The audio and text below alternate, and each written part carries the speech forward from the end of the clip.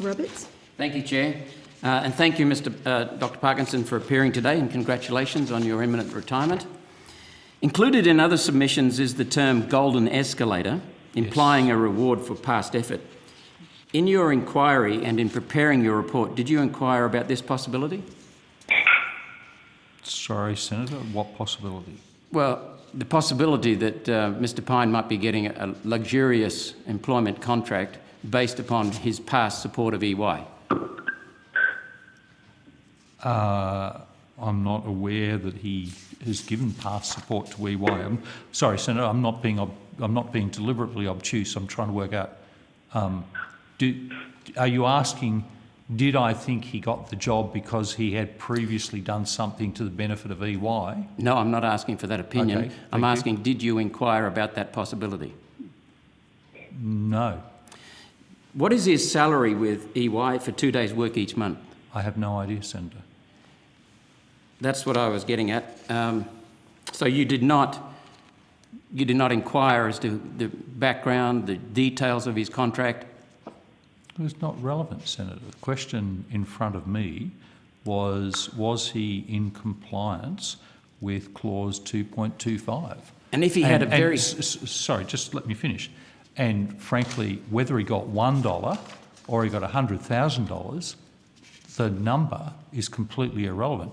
I don't care whether he got a $1. If he's breached 225, I would have called it out.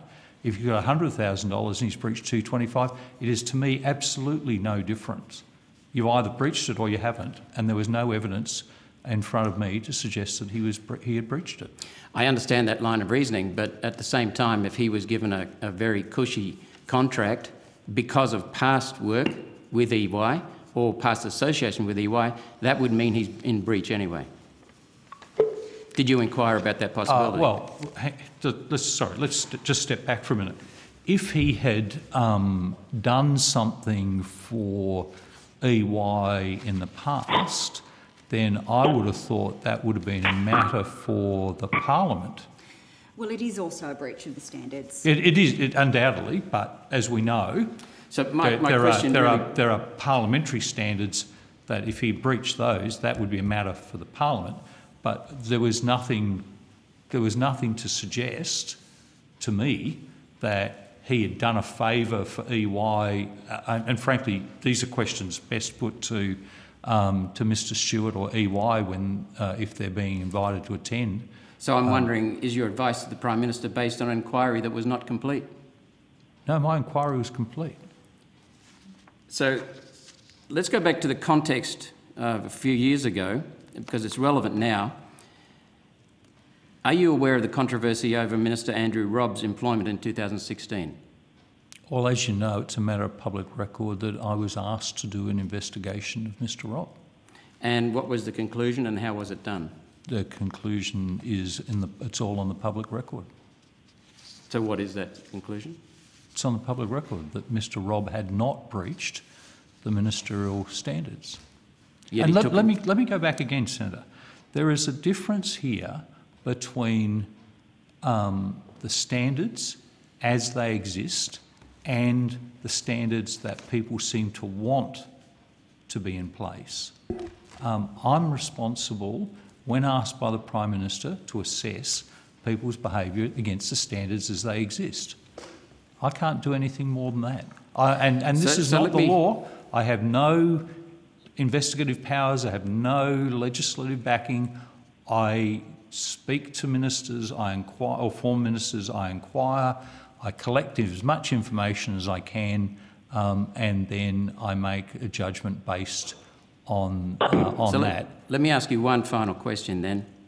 Uh, section 226 of the standards under Yep. post-ministerial employment, I see it as vital that ministers shall ensure that their personal conduct is consistent with the dignity, reputation and integrity of the parliament.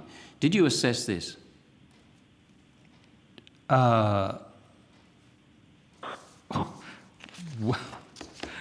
um, no, I did not. Why not? Um, because I would think that uh, all members of the House of Representatives and the Senate might find it quite odd that I started making assessment of what was dignified behaviour on the part of parliamentarians. The Prime Minister asked you for advice, as I understand it, on the post-ministerial employment sections.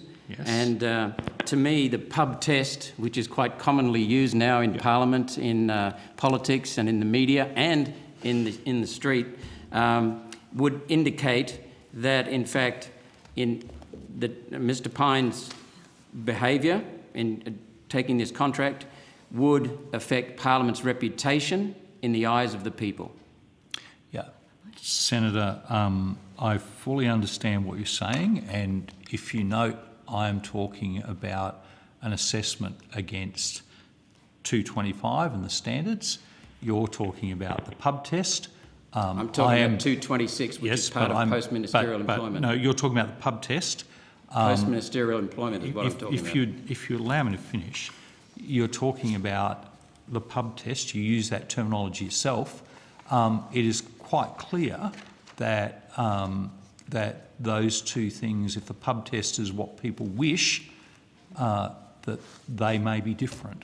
In terms of me assessing whether their personal conduct is consistent with the dignity, reputation, integrity of the parliament, I really don't think you want me to start to speculate on um, issues around whether anybody's conduct is consistent with that. I think that's a matter for um, for the parliament.